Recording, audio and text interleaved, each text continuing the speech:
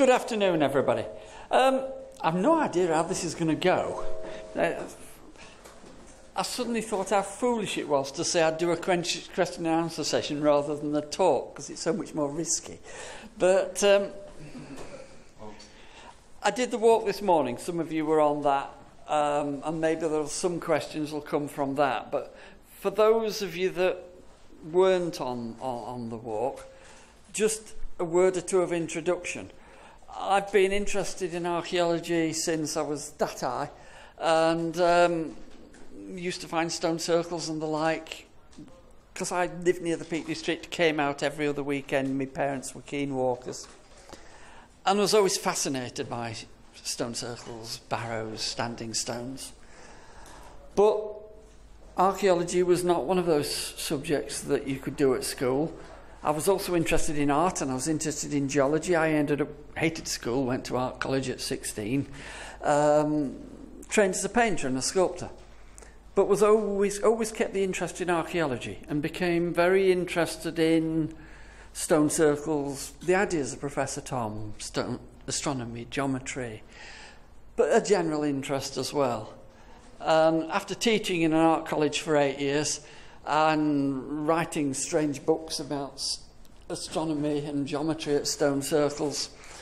Um, I went over to the dark side and I became, became a, a conventional archaeologist, more by look than design.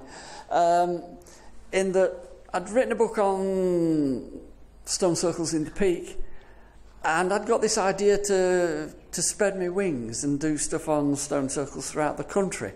And a friend suggested I wrote to the archaeology department at Sheffield. Um, and I wrote a letter saying, I'm really interested in stone circles. I want to write about them. Is, do you know of any sources of grant? Thinking I wanted about 500 quid to pay for some petrol.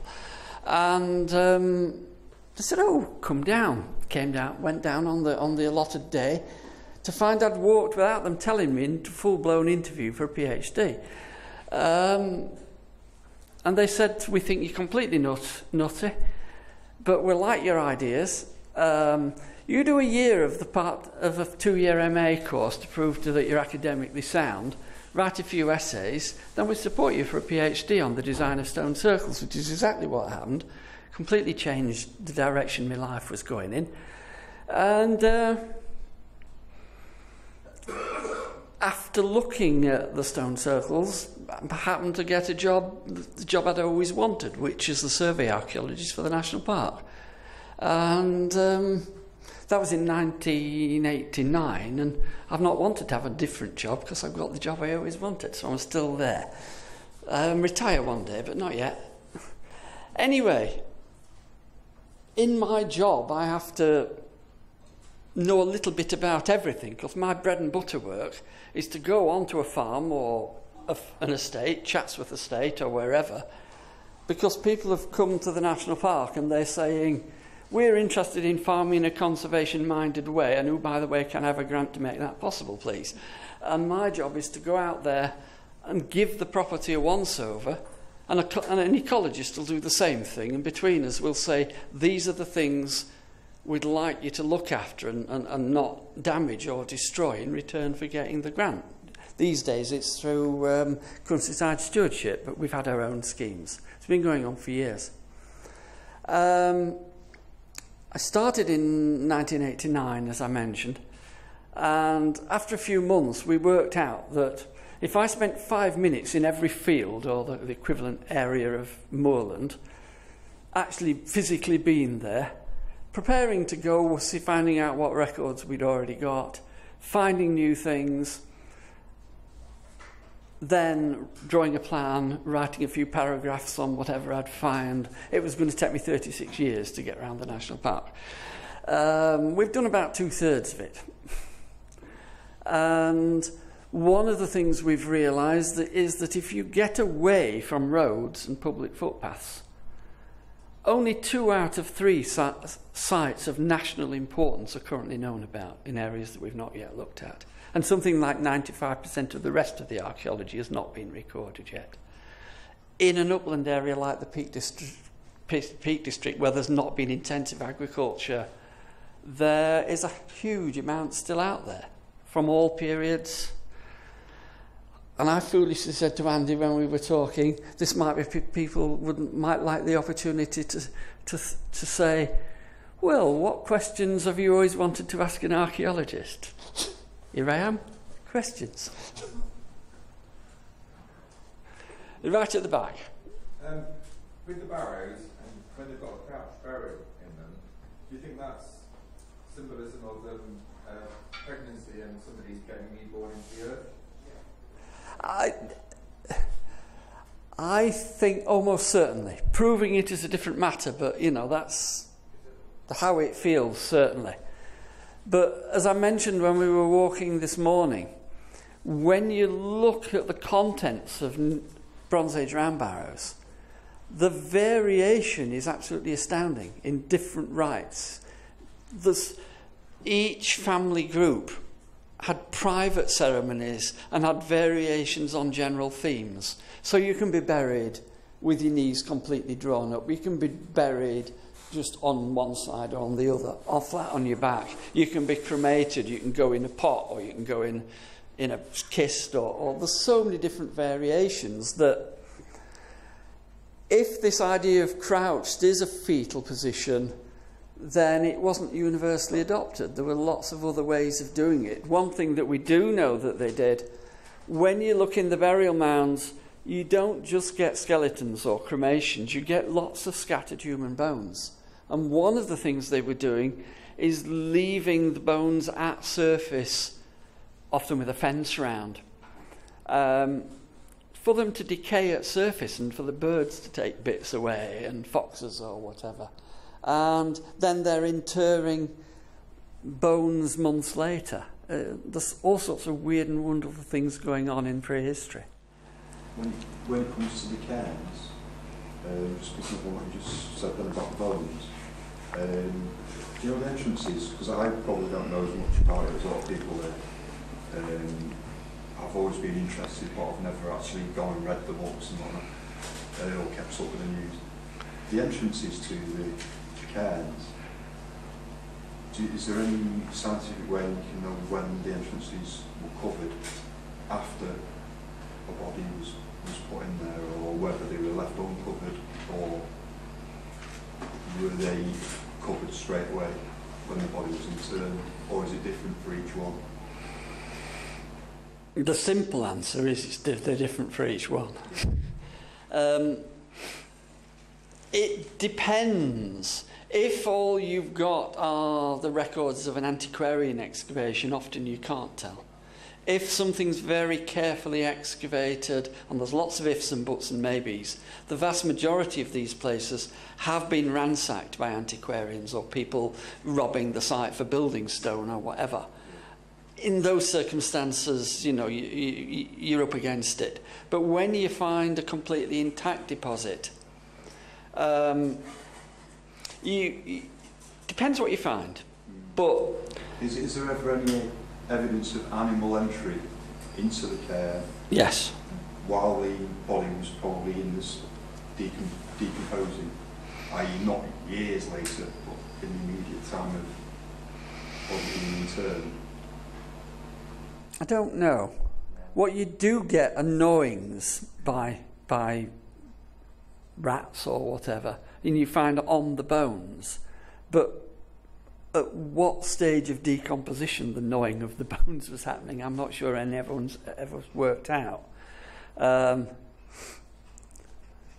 I don't know whether a rat would find a 500 year old bone attractive or whether they like it a bit fresher. Haven't a clue. Um, sorry, can I just, just to answer your, the, the crux of your question? If you can find material such as charcoal, such as bone, and you can put it in a very well stratified context to do with the blocking of the tomb, then you can use radiocarbon dating. There are other techniques as well to do with um, optical luminescence, which we can use as well, which um, can, can date when something last received daylight, which, but that's quite a new technique. And the trouble is with that one is it's like with radiocarbon dating 50 years ago when it was first invented. Everybody thought, oh, this will solve everything. And then they started calibrating it against Bristletone pines and realized that you've not just got a, a, a curve that looks like that, so you can say, right, this is here, so it's got to be that date. It wobbles like this, so you get lots of plus and minuses of several hundred years sometimes. And I think with optical luminescence dating, we think it's simple, but we'll find complications, and eventually, a few years down the line, we'll be able to use it, but in a refined way compared with now. Um, um, the stone circles in Derbyshire, Yeah. um, you know, there are um, you know, some circles are supposed to be aligned with different astronomical um, features, you know, moon, sun, etc. Yeah. Is there any, what about the circles in Derbyshire? Is there any that are particularly good at, at, at sort of depicting an astronomical alignment or, or is there a predominance of moon? I think- I believe that people in prehistory were interested in astronomy. But there are problems with getting at that. Professor Tom, who set a lot of this lot going, there were people like Lockyer before then, but Tom was the person that really came up with lots and lots of data. I think got it wrong. Because what he was saying was that um, people in prehistory were into highly sophisticated astronomy looking for slight wobbles in, in, in lunar cycles and so on so that you could predict eclipses. But to be able to do that, you had to think like a modern astronomer and use sight lines that were kilometres long so you could see a standing stone barely with the naked eye and get that kind of precision. I think we now think that the astronomy that works is more symbolic, it's more wow, that's impressive sort of astronomy, you know, with the sun setting here or rising there. Um, I think the problem with Professor Thom's stuff was he actually was misled in that he he wasn't a, a, a, professor of astronomy, he was a professor of engineering. He got this real bee in his bonnet, he devoted his life to it. Really nice chap, I met him a few times. He did all this study based on what he could find on the London survey maps. And if, if all the things that were marked as standing stones and, and, and stone circles and so on, on Ordnance Survey maps of the 30s and 40s, he went and looked at. Now, the problem was a lot of the things marked as such on those Ordnance Survey maps were marked wrongly. And if you take out all the things that turned out not to be even prehistoric, or to be interpreted in certain different, in, in totally different ways. All his histograms showing the significance of certain points around the horizon don't actually work anymore. The evidence disappears. um, so the, the real astronomy is what people like Clive Ruggles and Aubrey Burl have worked on. And when you've got architecture that's very distinctive, like the recumbent stone circles of Aberdeenshire or some of the stone rows, where you can say there's a definite orientation marked and you get repeated patterns, then it's very clear you've got an interest by prehistoric peoples in astronomy. But when you get to something like the Peak District, the problem is you stand in the middle of a stone circle and you've got a ring of stones. So you've suddenly got, you know, 10, 15, 20 directions indicated. If you then compare that with all the different places the sun and the moon can rise and set throughout the year because it changes from season to season. And if you look, say, at first magnitude stars, as Professor Thom did, the real th- situation is what would be surprising is if that stone didn't align with something there's so many things and places it can align to. The, the problem from a statistical point of view is giving it significance because it's bound to align with something. Um, And the problem with the stone circle, you know, the small one, like where we went this morning, which, you know, if I'm stood in its centre, its edges by the wall there, I can, I can look through that chair there and I can get an alignment if that was a stone. If I stand there, I've got a different alignment. And the lack of precision makes it really difficult. Now, what do you take as your targets? With the stone circles up on these eastern moors of the Peak District, quite a lot of them have got one stone that's about this high, twice as high as all the rest. So you think, ah, great. And you look at them and they're all pointing in different directions, and half of them point too far north to be anything to do with the sun or the moon, and you can't get patterns out of it. There's one site which I can't begin to prove which I just think is so beautiful that I'd love to believe it was real. If you go to Ninestone Close on Harthill Moor, there's a wonderful setting, a, a natural crag called Robin Hood Stride. It's a big crag comes up, sticks about the ground with two big stone pillars, all entirely natural. What happens at midsummer, or to be more precise, the nearest full moon to midsummer, is you sit in the middle of the stone circle and the moon comes along and disappears behind one pillar, keeps coming, and for a few minutes he's sitting there as if it's on an altar. You know, you're looking up at this wonderful thing, you know, with two big pillars of stone with the moon between, and then eventually it keeps going. I can't begin to prove that the people who built the stone circle put the stone circle in the right place so that has happened, but, would happen, but I'd like to think it's true. John, can I follow that one up? Because 30 years ago, you got me interested in archaeoastronomy. when, oh dear. When you came to give a talk at Manchester Astronomical Society. The one where the astronomer royal had to be sent home because he'd come on the wrong day. Uh, probably, I'm not sure. But uh, I agree with 100% with what you just said.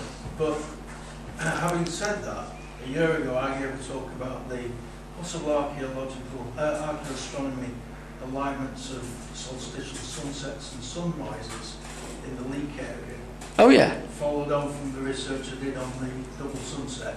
Ah, that was you. I put a name to a face now. that is a historically documented. Yeah. But I agree 100% with what you said that a lot was overinterpreted by Alexander Thom. But weren't you guilty of the same thing in your book? Oh, absolutely. yeah, yeah. I mean, because I've often wondered why you, why you never actually expanded on your book when you gave us a talk 30 years ago. Right. Where do I start?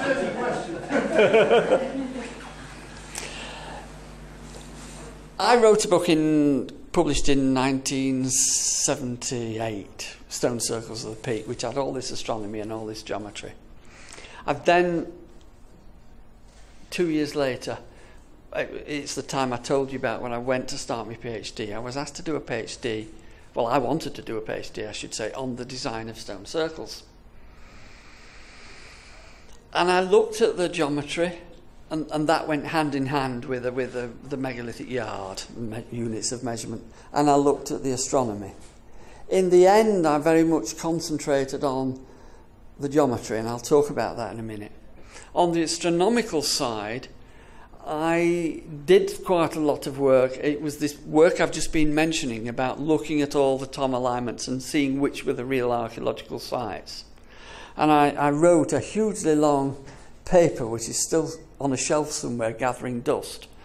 Um, I submitted it to um, Clive Ruggles for the um, Archaeoastronomy Journal, and Clive said he didn't want to publish it because he felt that we'd done too much Tom bashing and let's move on and, and, and look for positive things to do with astronomy, and that's why it didn't get followed up.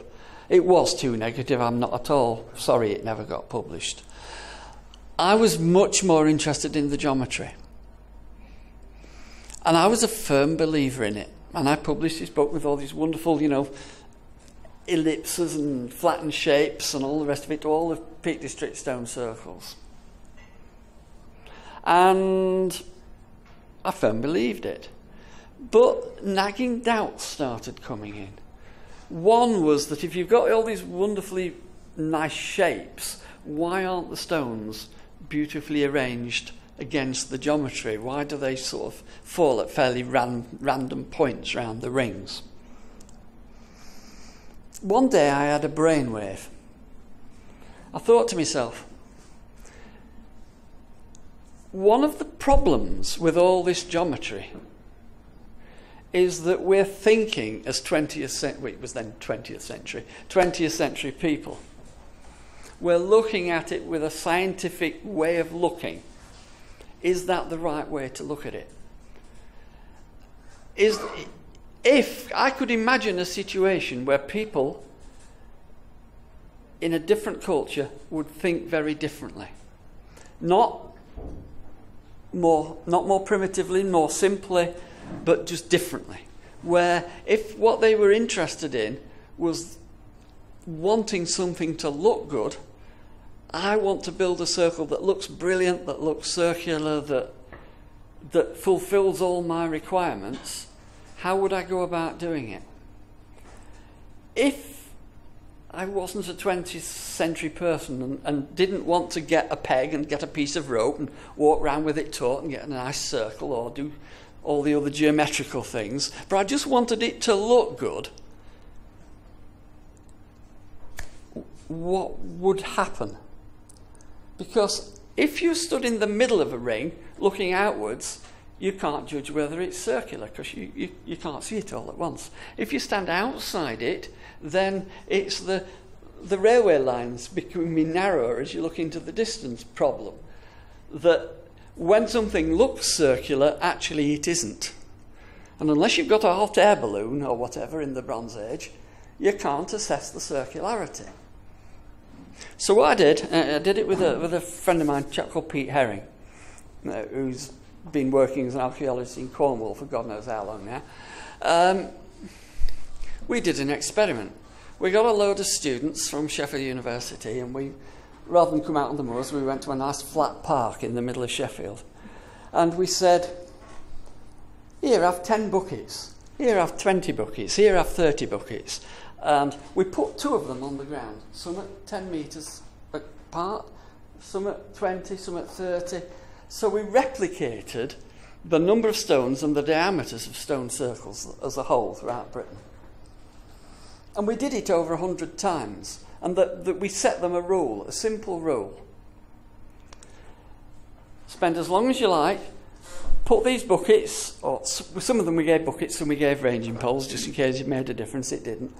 Um, and we want you to lay them out in a ring. We want you to take as short or as long amount of time as you're happy with. The one thing you mustn't do is measure anything. Just do it by eye.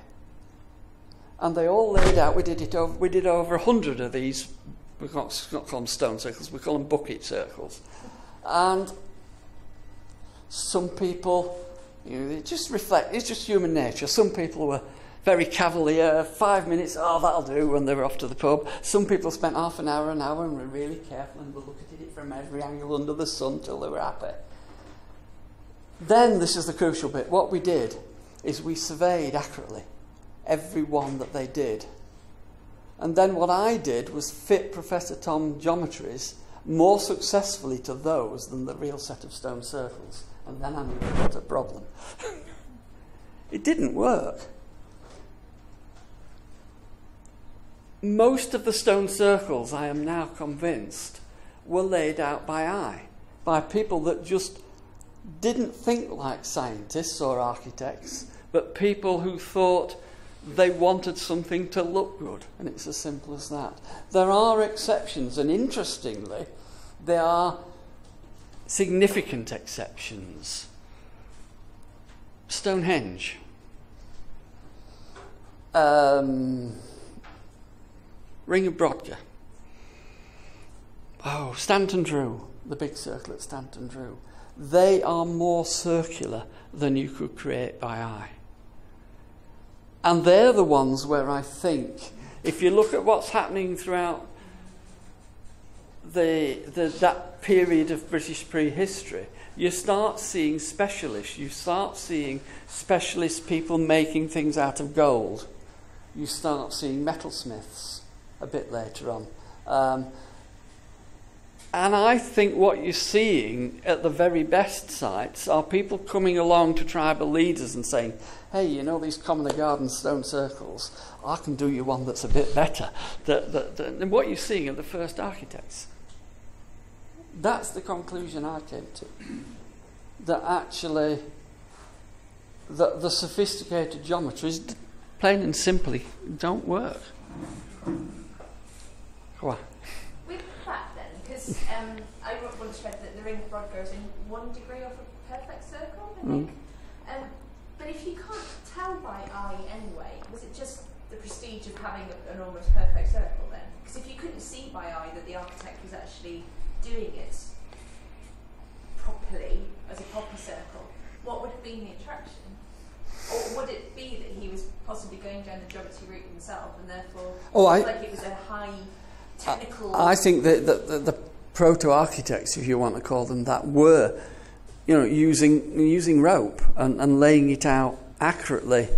I suspect in the way that people might have been thinking then, that gives the site more magical significance because it's beyond what people can recognise just from looking at it. Has anybody ever, if you take the up- inner stone circle, not necessarily the heel stone, which I think is sometimes bigger than the circle stone, has anyone ever done an average height for each stone circle and then seen if there was any kind of difference throughout the country going north to south or east to west or anything like that? that the average height for each circle? It's I'm just stabbing at straws here. It's- You could have kept I- that as It, it, it's one of the things I did for my PhD. Not to see if they get bigger from one part of the country to another because it's not that simple. Because you get very tall standing stones in, in Orkney, in, in Wessex, in various other places. That is a lot to do with just the materials that are available. And in places where you don't get stone, we now know as archaeologists, you get lots of timber circles. And some of them with postholes for posts like this, you know, they must have been huge. Um, no, but what I was looking at is vari- regional variations in types of design. So, in other words, you get some types of stone circle in some areas where they're very carefully spaced between stones, where they get what you call graded, where they're low at one side and they gradually get higher to the other side. Um, and you get other stone circles of diff different regions, different dates, where the spacing's awful, they, they, they, they're like this all the way around. It just wasn't a carefully considered part of the design. The peop- that doesn't mean that they're inferior stone circles, it means it didn't feature in, in the design for the people that built them. Or didn't have the time and manpower to Oh no, you, that, that, that's irrelevant because it's all to do with put it here rather than just there. It doesn't take any more time. Hi. Um, uh, back to the alignments, I'm afraid. Yeah, go on. Um, do you think- I've always thought that uh, stone circles started to be built around the time of uh, early agriculture. Yeah. People were going from uh, hunter-gatherer to farming communities. So don't you think that I'm thinking of outlier and stuff? I agree with you standing in the middle of the stone circle, lot, but oh, standing at an outlier, looking through possibly two stones within the circle, you could get quite accurate alignments of the time when you want to plant your corn or whatever you need to do in an agricultural way when you're used to a hunter-gatherer sort of prior to that. I think I'll talk around it for a minute. I think from the begin, beginning of agriculture, they didn't build a stone circle for at least 500 years, and it might have been a thousand years from the earliest Neolithic. But I think if what you want is something that helps you know when to plant your crops, there are much easier ways of doing it. You don't need a stone circle to do it. A stone circle might be about that sort of thing How in, in the context of ritual and ceremony. But if you want to just literally know about calendars, all you need is a stick in the ground and look at shadows and, and, and, and counting days. If, if, if, if, if, if somebody or a not Druids, but who might have later become the Druids, Mm. a, or a group of architects or whatever from different tribes have somehow realise that they've figured out that the sun always sets there on the shortest day, rises there on the shortest day, there on the longest day, up there on the longest day, etc. Look, this is happening repetitive. That would be a, a much bigger thing to them than it is to, to us today. Would they not have wanted to record that in a way that was more permanent, such as that would be passed to all their children, their descendants, rather than wood, which might rot? Uh, that, that's the way I see it, is that they wanted to commemorate something eternally, if you like. Yes. The, the, Now- the whole, the children, their, their tribe, what they were about, their families, and so on and so on, would be able to use practically forever. I think you're making a, a very important point. I think it's very important that people want to make permanent records. Some societies do, some don't give a bugger. But you know, um, this idea of permanent record is important.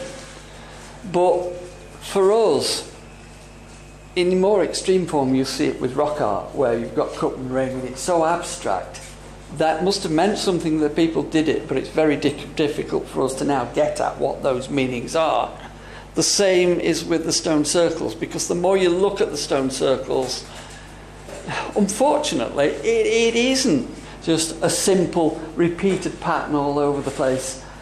And it might be, and, and, and it's like with Robin Hood's Stride, where the, the description of, of the moon going behind the pillars.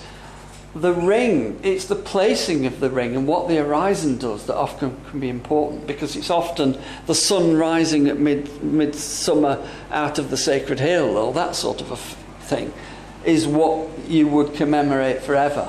So the circle is just the place, the stones just define the place rather than each stone be the alignment, if you see what I mean.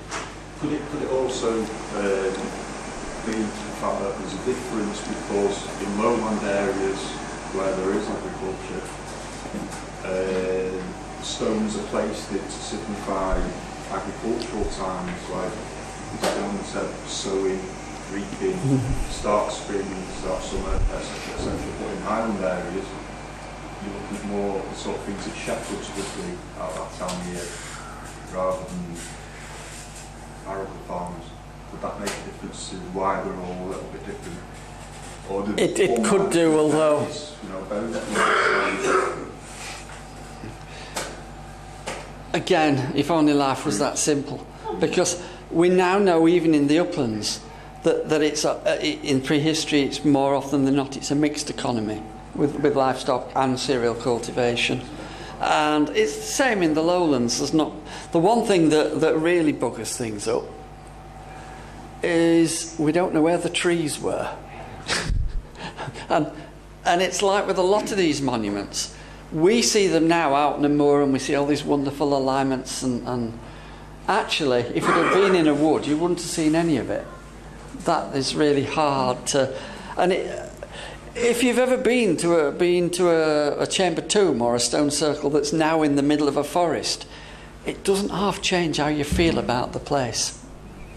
And John, that, that's the point that I was, making last year, with the alignments in the uh, western Peak District on the, uh, in the Staffordshire Moorlands and the Cheshire Hills.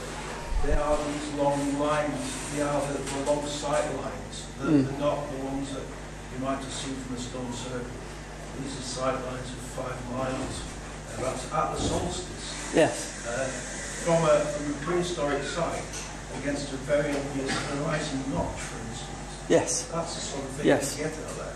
I mean, and I think the sort of work you've done is great, but for me, the problem is how do you prove it's not a coincidence? You can't. You can't, and that's the problem, isn't it? Sorry. Um, um, Yeah, Yeah. Um, you were talking about doing your work on geometry and uh, making comments on that of the stone circles, but uh, part of that is also you briefly um, uh, mentioned or commented on that is the unit, so megalithic yard. Now, taking out of the equation that that is probably not real throughout the entire site, but within a site, um, looking and analysing um, all the stone circles, say in the Peak District, is there uh, what's your comment on um, have they used um, a set of units, the diameter of the stone circle they were setting up and creating whole numbers within a monument, not across from one No, no, pillar, I not know what you mean. transposing, but within. Were they using that, or is that still uh, I've never that low level? never been able to find evidence for that.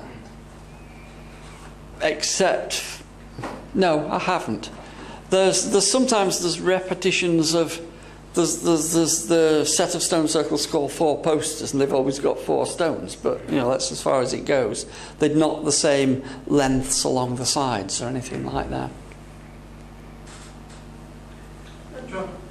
Yeah.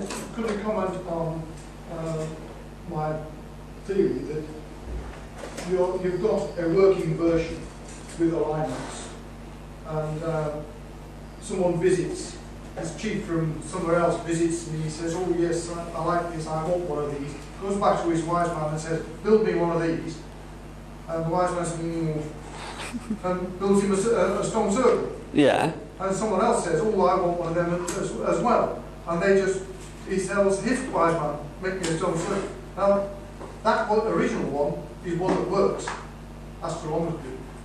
But these don't work because the wise man wasn't an astronomer, he didn't understand. And therefore you get stone circles which don't have any alignments. They're just a stone circle. Yeah. copies kind of as to original. It's, it's, it's perfectly possible, but I don't know how we begin to even get a handle on that at all. Well, Stonehenge, just, am I right in saying it does fit in with the winter solstice, the, the horseshoe? Winter yeah. solstice. Yeah, so that's, that's more than a coincidence to me anyway, but then that would answer your theory that a lot of these chiefs and that were maybe later on thinking, oh, we do, but they're using that to, for this and that reason and it works in this way and that way, let's have one up in our tribe up north and, you know, As someone who comes from up north, I'm rather it went the other way round. Sorry, yes. Um, why were they building them in the first place, in your opinion? Is ideas, yeah, there could be some structural, or, you know, some people to admire and make them a power thing. Uh, but there's other, you know, if it's not astrological alignments and it's a power thing, um, then, you know, there are other people I think that discussed healing or ritual purposes or whether some of these places are, are particularly selected because of um, some kind of energy lines or whatever. Yeah. Have you any comments on any of that? I think um, I'm, I made some comments when we were out this morning, which I'll repeat now. But I'll preface it by saying not all sites are the same. Just because something's circular and has some big stones in it doesn't mean that they're all the same thing made at the same time. And we were looking at a little stone circle that nearly fit, not quite, but nearly fit into this room. And, and that's not the same as Stonehenge. You know, a different scale. There might be similarities in belief systems. But let's just for now talk about the little ones. What you see very commonly on, on the Eastern Moors, and it's a very special place in the sense that the survival is so good, there's been so little destruction in the last 2,000 years or more, that you can see the settlements, you can see the fields, you can see the monuments, rather than just, you know, a stone circle in a ploughed field. Um, and what you see very clearly with the little monuments is that they're very closely associated spatially with where the fields, where the agriculture and the settlements are. You get big areas of nothing, and then where the fields are, you've also got a stone circle. Now, what that means for here, it might not apply for other stone circles elsewhere, is that every local community had one. And in terms of the monuments we can see and recognise, they had those and they had round barrows. And not much else, occasionally a little stone alignment or whatever. Um, so for me, those stone circles are, to use a naff analogy, you know, they're, they're the, the, the parish churches of the Bronze Age. And societies throughout the world have commonly ceremonies to do with birth, puberty, marriage, and death, and they also have ceremonies to do with the seasons. And therefore, I can see that these stone circles are places to have ceremonies amongst your, your extended family group to do with all these things potentially. Um, most of the ceremonies that you can imagine, marriages or whatever, won't leave any archaeological trace in the ground. The exception is sometimes death, and you get cremations in a pot stuck in the middle of a stone circle. But that doesn't mean that they're funerary monuments. It just means that's just part of the story.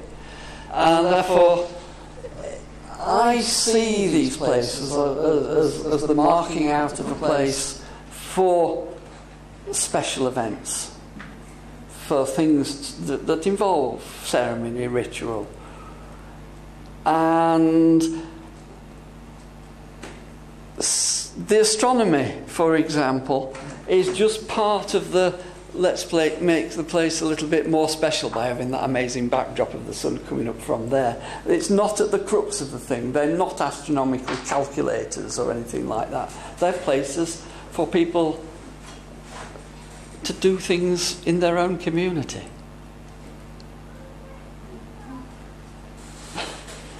I was going to ask about the um, stones that the circles you said were near perfect. Mm. Um, did you say that they only occurred at the nature site? Because I'd expect by chance to happen elsewhere. But just, is that what you said? That It's, it's, it tends to be the very big important sites, but not all of them are like that. Avebury isn't, isn't, isn't particularly circular at all. To what degree of significance were you working at? I don't think I was. It was, it was just saying, hey, this looks interesting. That works, and it seems to the pattern seems to Yeah. here. Yeah. not. Yeah, it's really interesting. Sorry, I don't, I don't find statistics come naturally to me. Can I ask uh, about a specific location as opposed to general uh, general theories? Um, we took a guided walk across to Ninestones Close this morning, and we went then searching for a supposed circle on the other side of Bromwich Drive, Dudford Tor, Dudford Circle. Do you have any knowledge of what may or may not pass as a circle there? Um, there's some tentative circular arrangement which we found um, from another photograph um, posted on um, TMA. Um, I suspect that the circles long perished. the original circle, was meant to be there, I think, in the 19th century. Have you come across any evidence or documentary or physical in, in your time? No, there's nothing that I'm aware of still there today. Right, okay. It's as simple as that, I'm afraid. Okay, fair enough. Thank you. I was just wondering if you could maybe explain Grey Wethers double stone circle on Dartmoor as to why there's two. Did they get one wrong and rebuild, or was there a purpose for having two? And is there only one like that in the country? Multiple circles are rare, but it's not unique. Um, you've got the Hurlers on Bodmin Moor, where you've got three almost identical circles, and they're very similarly designed. They are of the type of stone where the stones are carefully selected, carefully shaped, caref- nicely, neatly built. And no, it isn't that they got it wrong. It can't possibly be. Um, but I can't give you an explanation why the one needed more than one. I haven't a clue. Could I just ask, uh, is there any archaeological evidence of uh, settlements on Stanton Moor? I know there's lots of cairns and Yes, there is. Um, but Stanton Moor is is a different place. I, I was mentioning this this morning that it's got lots of little cairns, all dug by a chap, mostly dug by a chap called Percy Heathcote, and lots of evidence for burials in these little cairns. There's two or three other places that I could point to on the Eastern Moors, smaller versions where you say that's a, looks like a funerary cairn field. Cairns with little curbs, strange little rectangular cairns, cairns with little ditches round, you think they're fancy. The vast majority of the cairnfields on the eastern moors are probably agricultural clearance cairns. They're not funerary at all. They're, they're in, they've either got relict field boundaries associated with them, where, or even where they haven't one, where you excavate them, and I have. Um, I've done four on Sir William's Hill, for example. Um, they all end up being a random pile of stones with a natural boulder underneath, which was the focal point. When they were cultivating, I'm not moving that annual, I'll put all my clearance stone on that. And we did excavations on Gardom's Edge between 1995 and 2000, where we excavated nearly 20 of the cairns. All bar one of them had no funerary remains in them. Um, one, which was a special cairn, which had a curb, set apart from all the others, had a pit that looked like it might have had a body in it that was long gone, because it's very acid soils. Um, but I think the point about the Gardom's Edge excavations, it proves the point that not everywhere is like Stanton Moor. Because Percy Heathcote, every, everyone he dug in, he found lots of cremations. Everyone we dug in, bar one, had nothing at all. They're not the same. Now, coming back to Stan, the, the, with a, with a, with a, the thing is with Stanton Moor, you've got the, the, the top part of the moor is still a moor. And then round it, especially on the western side and the northern side, and, and actually here at Birchover, you've got lower shelf land, which is where all the prehistoric people would have been farming, that's been improved. So the evidence has gone. Except at the north, if you go to where the Nine Ladies is and then go west from there, there's one part of the moor there with prehistoric field boundaries all over the place, just on the top edge of where the prehistoric farming was. But everywhere else it's been destroyed. Is there any uh, evidence to uh, to correlate the number of the barrows, cists, cairns and, and the funerary findings with population of does it seem to add up? Was, was everybody buried in that manner or, or was it just special people? It was the vast majority of people that must have lived and died in the Peak District or anywhere in Britain haven't ended up in barrows or in, in these little cairns. We don't know what happened to the bulk of people. So, in one sense, yes, they're special people. Now, one of the problems we have in archaeology is that, well, there's lots of problems, but there's lots of fashions of interpretation. And, and, and archaeologists, uh, I'm sorry, I'll start ranting in a minute. Um, the academic system is such that, you know, you build your reputation by rubbishing somebody else's. And, and more often than not, we end up throwing babies out with bathwaters.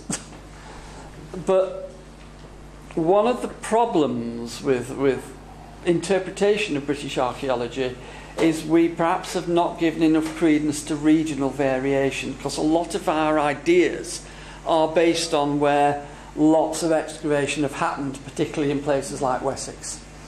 And we, we've not understood well enough, although we've gone a long way to addressing the balance, what's happened in, in, in places like Wales, in places like the Peak District, in places like the North.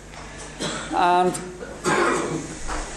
if the, the conventional wisdom on, on, on Bronze Age barrows is that they, rather contrasted with the Neolithic, where you're talking about communal ancestors, in the, in the Bronze Age, we're talking about special people, tribal leaders, tribal families, and so on, in barrows, occasionally with nice fancy gold earrings or whatever. In the Peak District, it plain and simply doesn't work. If you look at the Eastern Moors, where all this survival is good, every farming community had its barrow. So, how can every farming community be the tribal elite, if you see what I mean?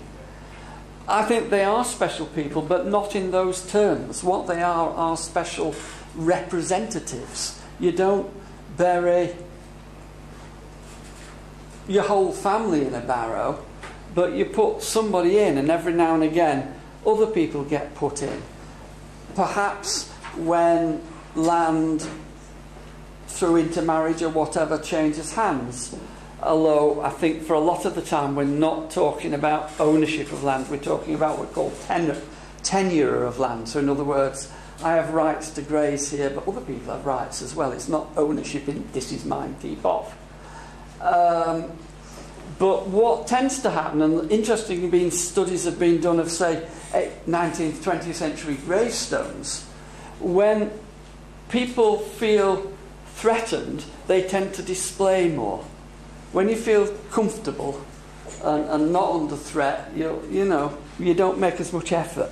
But as soon as, or, or, or that we're talking about established elites here, or if you're nouveau riche, then you tend to be very flash, you know. Um, and it's, it's, it's that sort of thing. Every now and again, you might have had a few bad harvests. We better bung somebody else in the barrow, you know, to, to, to, to, to, to, to, to appease the, the spirits and, the ancestors and whatever. Um, I want, I'm going to sidetrack now because one thing I wanted to say, well, somebody said something before. Archaeologists always get slagged off for if they don't understand the things, saying, oh, it must be ritual. Uh, I just wanted to comment on that, that actually this whole idea about practical things and religion and ritual is a very modern way of thinking. Because people in the past often did not make those distinctions. In the sense that if you believe in the spirits of place or you believe in spirits of ancestors and you want their help, having a ritual or a ceremony is not a ritual or a ceremony in one sense, it's a practical act. It's something that has a physical practicality to it, if you believe it does do, if you see what I'm saying. This whole idea about these boxes we put things into is perhaps not a very constructive way of, of, of looking at the past. Can you just ask you about the age range of the bodies that you found? What, on average, can there be any ages? Are there Yeah. many children? Or? Yeah, in, in, in barrows, there's no distinctions between male female um, in terms of the richness of grave goods or the quantities. Similarly, there's lots of children. Um, it's interesting what you were saying because I, I understand that in some uh, hut circles, um, human remains are included in the building of the walls around, um, but not from one person, but from several in some of the sites around. Uh, so it would it would indicate that there is this synthesis between life and death. And how you were saying, it's not it's not distinct that it's all part of the way they lived. Yeah. Um, I don't know whether the, that sort of things happened, whether this. I mean, when I say human remains, from what I understand, it's only small bone. You know, they've almost integrated them with the whole, Yes. And, or, and or on threshold. that, that is houses and so on. found occasionally. With the houses I've excavated, which happen to be Bronze Age on, on Gardom, I'm sorry, Iron Age on Gardom's Edge. Interesting other symbolic acts as well. Um, two houses um, that we excavated had, they were purposely closed down, presumably after somebody died and they were no longer houses. In one case, they, they built a bank of stone across the entrance, blocking the entrance. And then they got saddle querns, which are used for, for grinding corn. And it, if anything's going to be a, a symbol of life, it's a saddle quern. And they turned them upside down and put them in the entrance. Similarly, we had a big house where they closed the entrance so you could just walk in a little path like this through the entrance after the house had gone. And they put a saddle quern right in the middle in a pit, upside down. Um, these again, you know, it, all, all these things blur the distinctions between functional because you've got ritual in the functional and vice versa. Hi. You're saying about the, the quernstone being upside down. Is there any relationship with um, the Seahenge having the uh, troop re, uh, roots sticking up in the air? I don't see why not. I mean, it's not something I've given any thought to, but it's the same basic sort of thing, yeah. One more? Yeah. Go on. Some years ago, I, um, I worked in uh, very remote parts of Zambia, and I was reminded of that by going up and seeing your field patterns. Because there, as I walked through the, the villages where I was working, there were round huts on level platforms. There were the fields where the crops were grown, with stones cleared to the edges. There was the cattle who grazed. And within each village, there was a round circular structure, usually made of timber, because that was what the local building material was. Um, as you were describing, well, well within the, uh, the boundaries of the settlement. Um, and there were the cattle kraals. And um, I was just slightly reminded of that by the stone circle up there with its internal curves. Yeah. That obviously wasn't an open circle, it was a, a closed ring.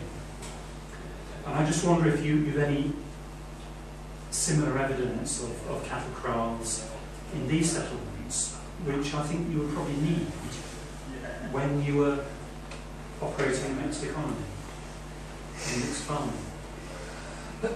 Where do I start? Uh, in different parts of Britain, like on Dartmoor as a classic example, you've got what are what we call pans, which are probably livestock kraals. Oh, that's one of them. We don't get anything like that in the Peaches. You get them in the Yorkshire Dales as well. For some reason, we haven't got any, except for half a dozen on the highest part of limestone plateau, just south of Castleton. And they look like stock kraals. But on the eastern moors, there isn't a single one. And I could lay hand on heart and say the odds are there never was a single one. And I don't know why, except I do know that so when you've got the hedged fields and so on, I don't think you really need a corral. You can just put them in the nearest field and close the gate. Um, that's all I can think. That But would you not have to keep them out of your arable? yes, so but what? would reach your, your, your crops? Yes, you would. Um, but it works two ways. You want animals on the field some of the time because that's how you maintain the fertility by them being there and manuring the fields. And so, if you've got stock-proof fences, that's one way of doing it: opening and closing gates, and letting them in one place one time and in different places another time. But the other way of doing it, which works equally well, is for continuous herding or shepherding to be taking place. Um, just as an aside, but I can't help mentioning it because you just you just struck a thought here about corrals.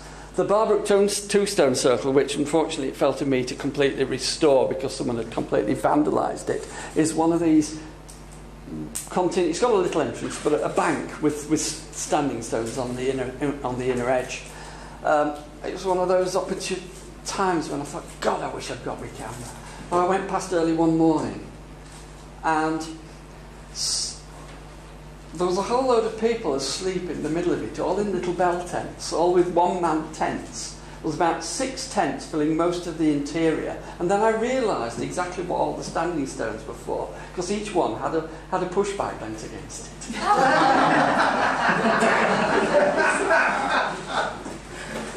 But it was just thinking about what the, the gentleman had said about it being a corral, but then I thought more, was like the cattle market ring, where if you're going to swap, say like tups or bulls or any kind of livestock that needs swapping for, um, you know, obviously breeding purposes, Yeah. not having the same genes and the breeding all the time.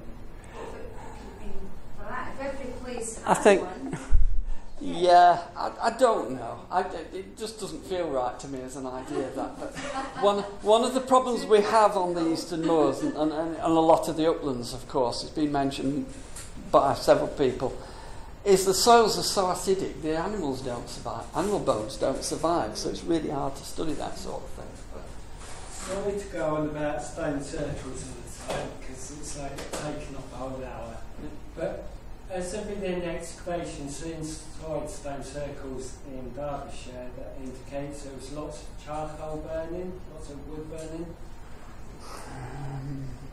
Because there's quite a few stone circles on Dartmoor which have been excavated and the only thing found has been huge It's amounts of charcoal. Charcoal. Not in the Peak District, no. I mean, there's not been a lot of excavations, one, two, three full excavations, and none of them have had that. Because I know what you're saying about um, alignments, because I don't particularly believe alignments at all. But what you did say is about when they were built, there's loads of trees around, so you can't really see the territory anyway. So the Well, you- a theory could be about burning lots of wood inside the stone circle as um, showing someone where to go. Possibly, but I don't think we've got the evidence for that.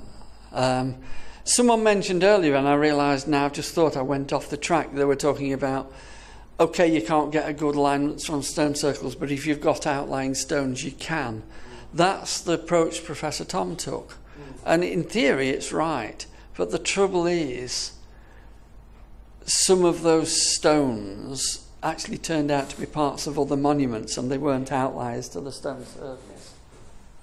Okay, I, I, we are going to have to end it there, I'm afraid. I didn't want to cut it short because it's, it's such a unique opportunity, but do find John afterwards. So I will say thank you immensely, John, for coming along, and um, thank you.